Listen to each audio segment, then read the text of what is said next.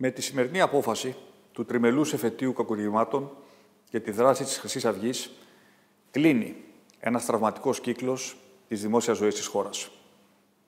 Η πολιτική του διάσταση έχει ευτυχώς κριθεί με τη νίκη της δημοκρατίας που εξόρισε από τη Βουλή το ναζιστικό μόρφωμα. Τώρα η ανεξάρτητη δικαιοσύνη δίνει και αυτή τη δική της απάντηση.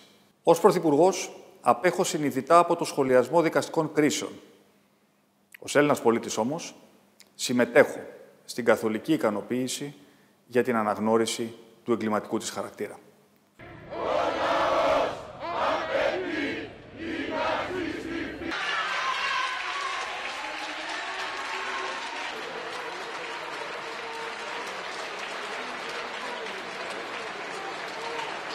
This is a great moment for us. We have been waiting for this for five and a half years since this trial started, and this whole process was uh, a struggle. We feel very relieved because we managed to see uh, the Golden Dawn as a criminal organization. This is the most important thing.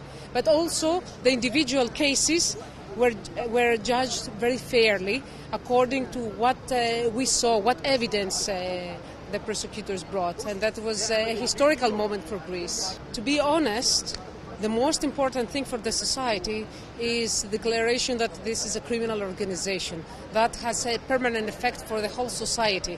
I know the sentences will be uh, something important for for them, the, the convicted ones, uh, but for us, the victory is here because what we needed is to to, to take this. Uh, this political party out of law because this is illegal anymore. This is something that we can inherit to our next generations, not to have to face a neo Nazi political party inside the parliament swearing on the democratic uh, uh, constitution of uh, the country.